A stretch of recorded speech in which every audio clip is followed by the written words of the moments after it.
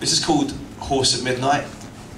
And uh, so, you know, I, I reckon, imagine just like a horse coming towards you over the hill, and that just being like the most awesome thing that could ever possibly happen.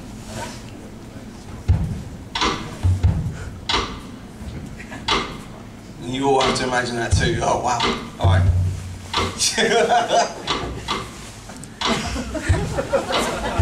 Basically, this poem is, is, is a is a one big long list of adjectives.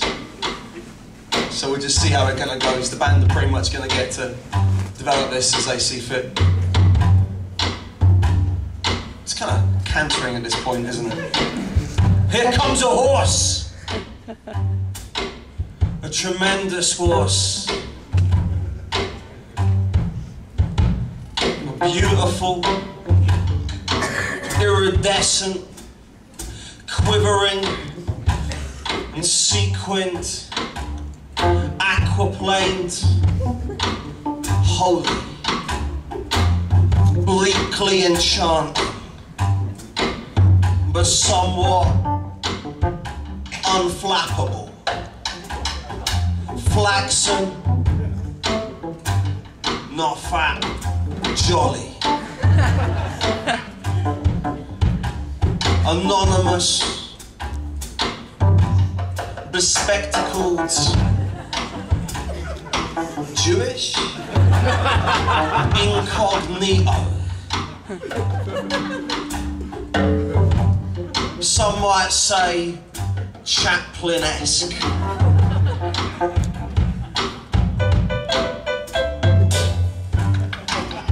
Yeah, that's a Chaplin-esque horse, all right. Implacable, eloquent but pissed. Laughing, naked, obviously.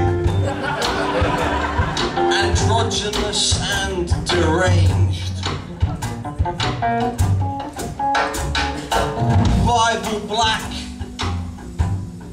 cryptic, holier than thou. Defenstrated, yet somehow unputdownable.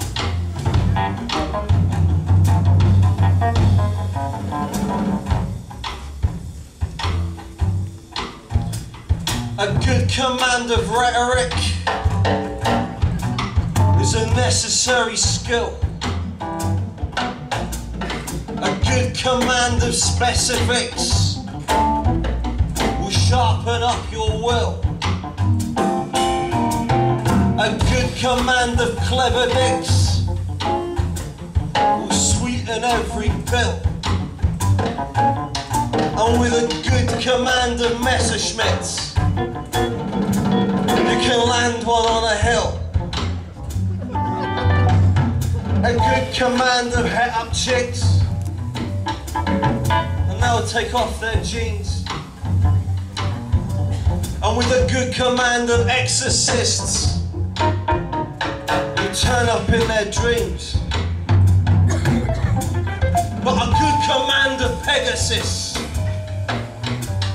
will fly you over things. And with a good command of rhetoric, they'll never see the strings. If you don't believe me. Look it up in a book if you don't believe me. These things are in books, specific books. All these words are written in books. Here comes a horse. A financially comfortable horse.